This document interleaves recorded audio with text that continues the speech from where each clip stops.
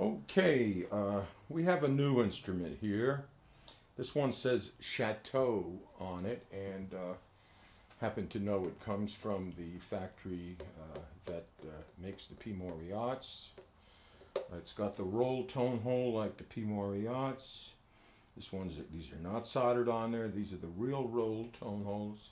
And if you look carefully at the body, you can see uh, it's silver color because it's made out of pure nickel. This is not plated or it's not lacquered. This is this is the nickel, the actual nickel finish and satin finish. Look at the beautiful uh, engraving, uh, gold lacquered keys, two arms on the uh, C, B, and B flat. Uh, it's a beautifully made instrument. Um, I have the nickel neck, but I like this copper alloy neck, neck with this horn.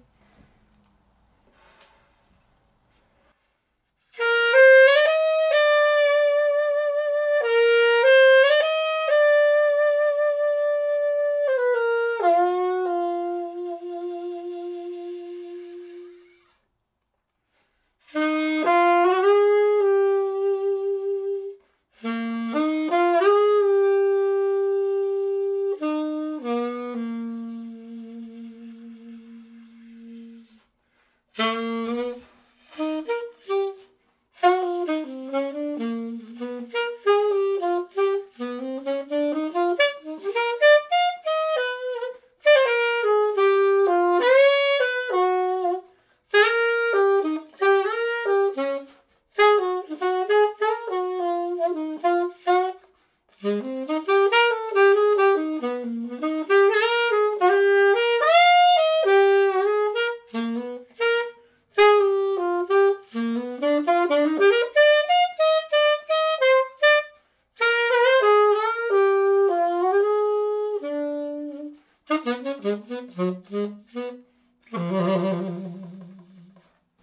Okay, I didn't get a chance to show you. Look at those fancy looking pearls.